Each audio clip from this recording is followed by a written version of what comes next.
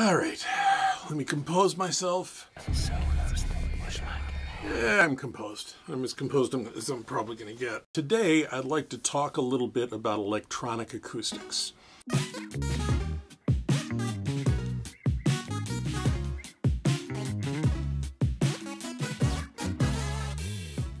First thing I want to make mention of is this microphone is not what you're actually listening to. You're actually listening to a live set of microphones with four-way pickup that are picking up everything that goes on in this room. This microphone will have another purpose during this discussion.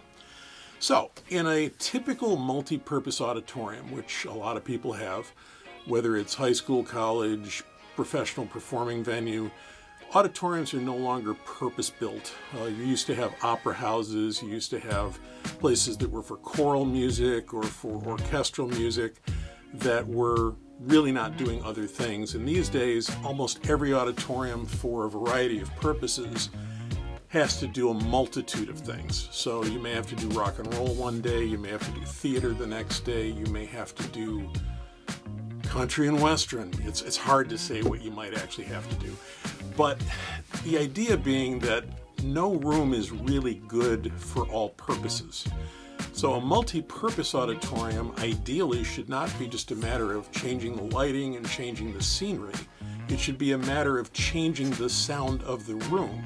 And I know sound systems, people do it with the sound system. They mic everything and they create an environment by using artificial reverberation and effects in the console. But that's not what I'm talking about. I'm talking about changing the entire sound of the room you're in.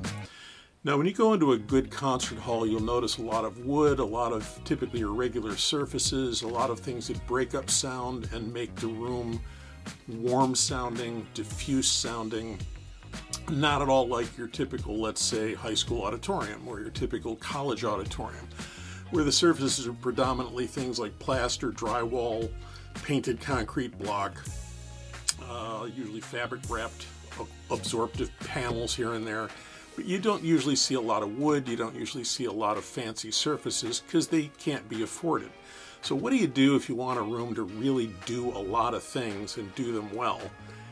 It's electronic acoustics. Now, electronic acoustics is not surround sound, it's not an effect. It's an actual changing of the room you're in to sounding like a completely different space.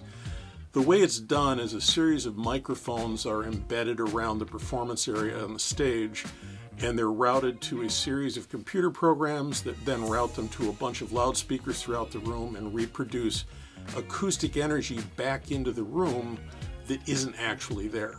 So it's kind of like surround sound on steroids in a sense, but with surround sound in a movie where you have the speakers on all sides and in the back, they provide directional cues, but they're processing and close miking all of this stuff.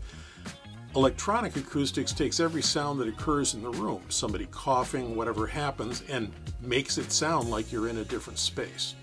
So talking a little bit about this, just going to do kind of a simple simulation, and this is this is once again not reverberation. I'm not feeding this microphone into this recording directly. I'm creating it in the room with some adjacent loudspeakers. And now we're in a different environment. Now this particular environment I picked is a little bit absurd. Let me see if I can find something a little less crazy. Uh, that is a cathedral. Let's go to something a little better than that. Warm Cathedral. I don't know, medium church. Let's go to medium church. So, once again, this is a simulation. It's not a real electronic acoustic system because, to be honest, I can't afford one. But here in my studio, the reverberation time in this room is extremely low. The noise level is extremely low, but it's a very dry sounding room. So if I was performing classical music or even guitar music or singing, this is not a space I'd want to be doing it in. But this mic right now is picking up and reproducing an ambience that is not being fed electronically into this recording. It's actually occurring here in the room. And with this microphone, this is kind of a, like I say, a this is kind of a cheap and dirty simulation. It gives you an idea of the kinds of things you can do. You can change from that room to this room. So now I'm in a vocal chamber So if I was doing a certain style of music, this might be more appropriate. If I wanted to have a completely different small room, let's say, or a room with an echo in it. For some reason, I wanted a room with an echo in it. I could get that. So the idea of electronic acoustics is you create environments that are saved for different styles of music. Now the primary difference in the way you design a room for electronic acoustics and you design it for other purposes is if you can't afford fancy diffusive surfaces and all of those things in the room, they're nice to have in either case. In a room that's going to be electronically controlled, you need to start with something more like this, which is a reasonably well balanced room that is relatively, I won't say dead, but definitely not highly live. And you need to be able to control it upwards to whatever specific condition you're trying to create.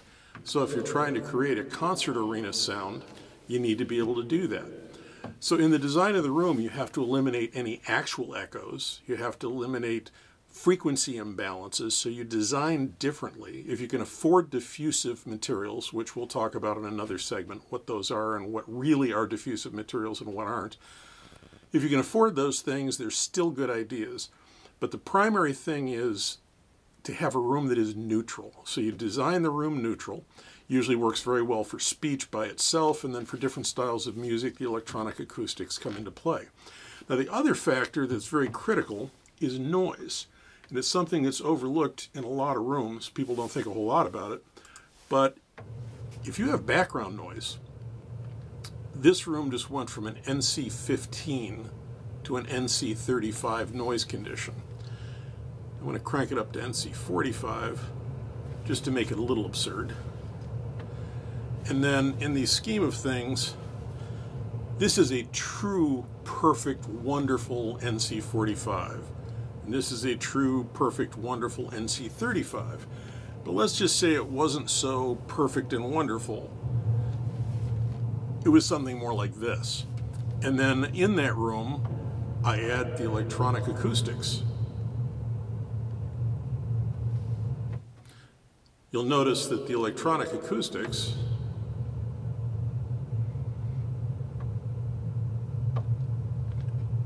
enhance the noise. So if you want to hear the nuances of a room, the more noise you have, the less you're going to hear the nuances of the room. Now, to be honest, it's the same for instruments. Harmonics and subtleties of instruments get lost under mechanical noise as well. And depending on the frequency contour, if the mechanical noise is more mid and high frequency versus more low frequency, or in the case of something severe, this is a really bad system we recorded in one building. So if you had a system like this and you could suddenly convert it to that, you have a lot better shot. But ideally, what you really want to do is convert it down to NC20 or lower, where you can actually hear all of the nuances of the room. So some of the critical things to keep in mind with electronic acoustics, number one, it's not a sound system. It's not operated by a person. It's a condition that is changed by preset configurations for different styles of music and different uses. Number two, to implement one properly, you have to have a room that is well controlled and relatively quiet from a mechanical noise standpoint. And then the next thing about it is you have to have it set up and tuned properly in terms of microphone locations, locations of loudspeakers, so there's some design that goes into it. The cost of systems like this, it varies. Um, entry levels in the hundred to one hundred fifty thousand dollar range. Uh, some of the typical high school spaces where you're doing the entire seating area as well as the stage you could be closer to $250,000, $300,000. However, compare that to spending $700,000 on fancy wood surfaces. And when you do the fancy wood surfaces, you have a great sounding concert hall. And there will be a project we're going to walk through in a future segment where we'll look at beautiful room, great sounding room, has been fantastic, gotten great reviews for certain uses, and they've done some things in it they never should have done, and it was a disaster. So when you get a room that's really, really live, uh, you have a hard time making it go the other direction. So I'm a big fan of being able to control the environment I'm in, being able to control it in a way that really works. Next segment, we'll probably talk a little bit more about this. Uh, appreciate it if you would like this, if you liked it. If you don't like it, don't tell me. I don't want to know. Don't don't send me any of that negative stuff. You comments, yes, that would be great.